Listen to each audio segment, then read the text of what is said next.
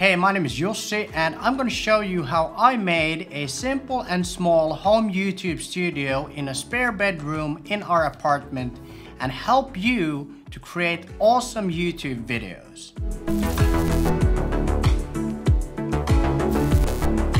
By the way, this room is around 12 square meters, which is approximately 129 square feet so it's not super big, but it's not the smallest either. But the setup that I've built here is designed to work even if you have half the space that I have. Alright, let's have a look at the setup. So first of all, we've got the C-stand which holds everything. Unfortunately, I can't remember the model and the brand of the C-stand, but all of the products that I'm talking about in this video will be linked in the description below.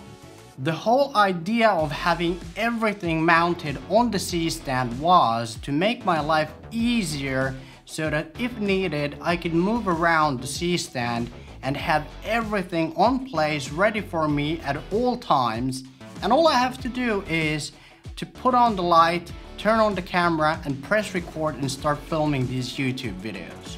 But first, here we've got the Kupo clamp and on the Kupo clamp I've attached this magic arm which is also from Kupo and at the end of the Kupo magic arm I've got the ball head from Joby which I actually also use on my Gorilla Pod.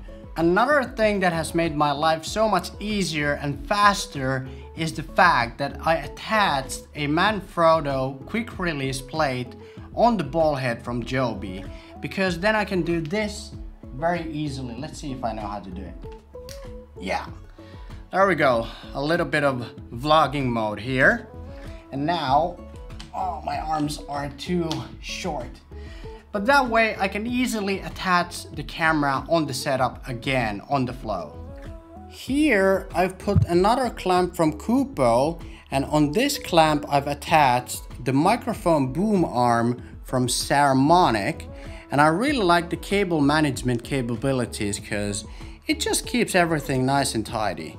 And of course we've got the microphone which is the Rode Video Mic Go 2 and I gotta say this is probably the best microphone that I've ever used. No need for charging because it's got no batteries and the sound quality is amazing.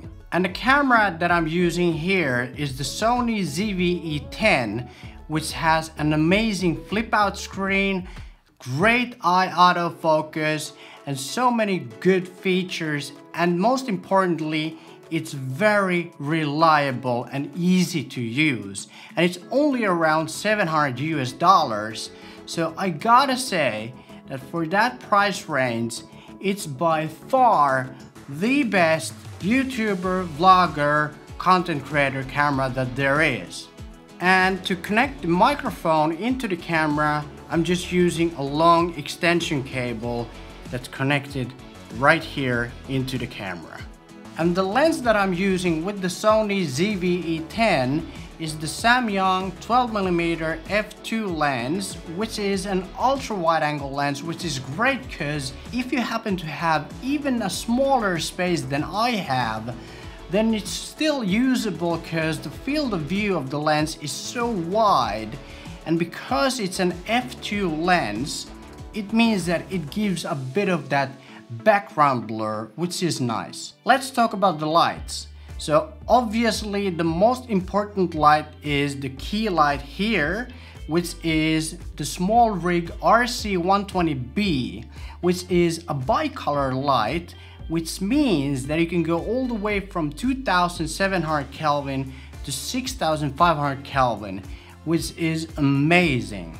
The softbox here is also from SmallRig, and I deliberately chose the smaller softbox that is 55 centimeters or 22 inches in diameter. And the reason is because I used to have a huge softbox from Nanlite that was 120 centimeters in diameter, which was way too big in my opinion, because it made this space feel a lot smaller. And honestly, if you're using it especially in a smaller space than I am, then 55 centimeters is all you need. Last but not least, we've got the background lights here. First we've got the Nanlite PavoTube 30C, which is this huge tube light, which is an RGB light that you can turn into basically any color. And I just happen to like the teal and orange look. I know what you're thinking, teal and orange, come on. But I just like it. And here on top of the shelf I've got two smaller Nanlite Pavo tubes, the 15Cs.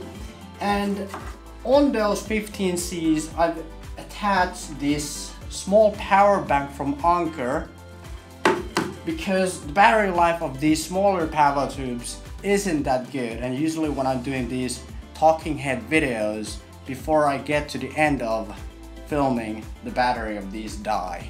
I just want to say a huge thank you to Focus Nordic for collaborating with me to make this video possible because almost every product that I'm talking about in this video is provided by Focus Nordic. So without them, this video would have not been possible.